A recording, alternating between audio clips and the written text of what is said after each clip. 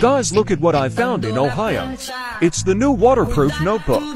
The pages are made from stone, not wood, so nothing soaks through, and the pages are impossible to tear in half. What should we try on it next?